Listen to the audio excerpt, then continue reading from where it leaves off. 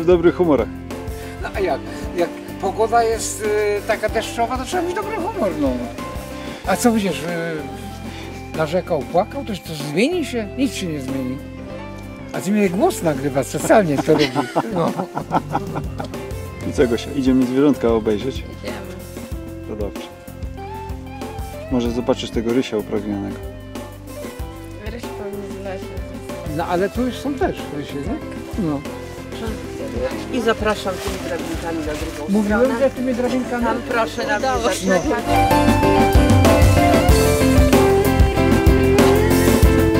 Ja myślałam, że on mnie w konie ładuje. Witam Państwa w Parku Dzikich Zwierząt w Kadzidłowie. Park powstał 25 lat temu.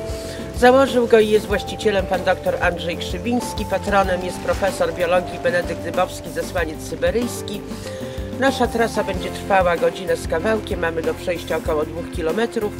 Powiem, do jakich zwierząt będzie można podejść, jak je omijać szerokim łukiem, bo wbrew pozorom dzikie oswojone zwierzęta są bardziej niebezpieczne niż zupełnie dzikie.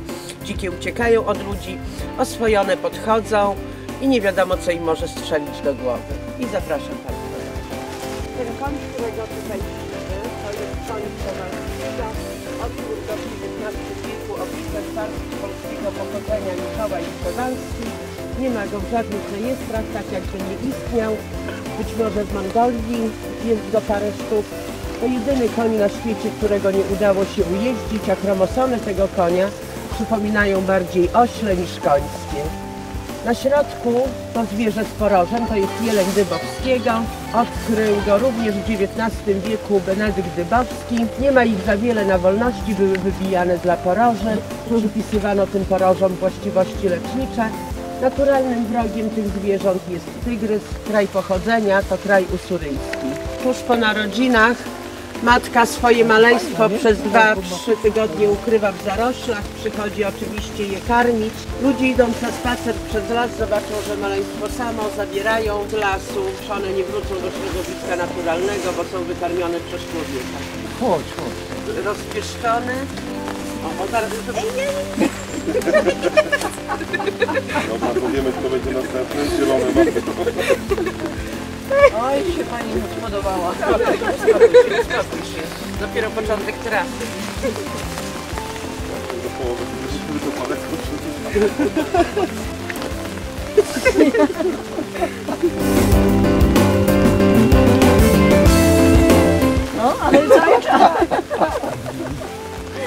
W tej chwili tym gatunkiem w Europie trudnią się hodowcy ozdobnych kurek, a w Chinach ze względu na czarny kolor mięsa i kości stosują w medycynie naturalnej.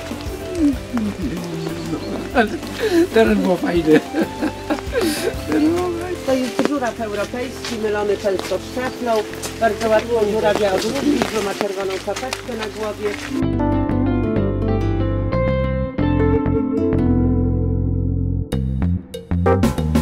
Bardzo tłuste jest.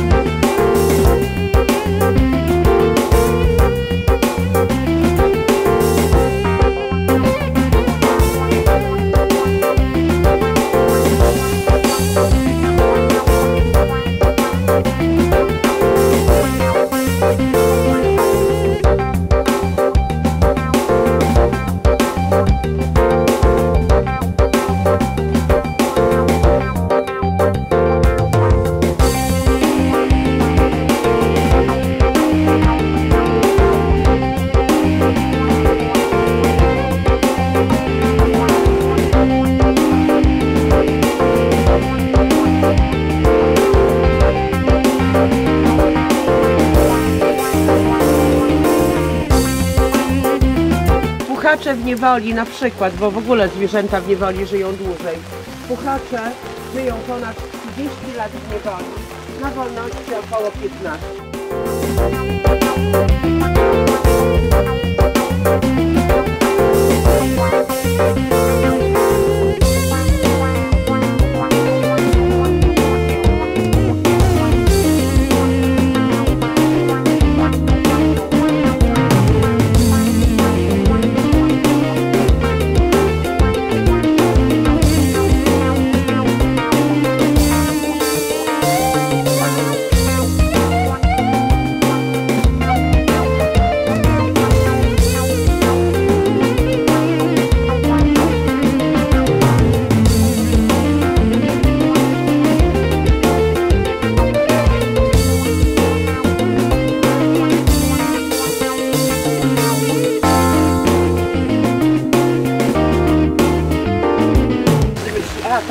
O tam, na, zobacz, tu idzie następny, po lewej stronie, tam.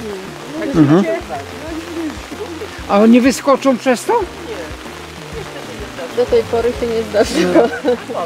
No bo wilk raczej wyskakuje, nie? Skacze. Aha, tam. Aha, teraz. To jeden jest? Aha, drugi siedzi po prawej stronie tam. Widzisz, patrzy się na nas, jeden i drugi.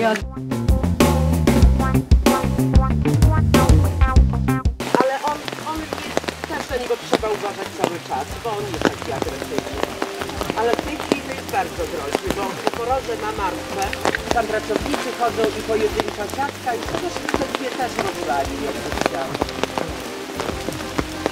I jak od jelenia się chowamy w razie ataku na drzewo, tak od łosia za drzewo. No, no bo on by atakował drzewo, nie?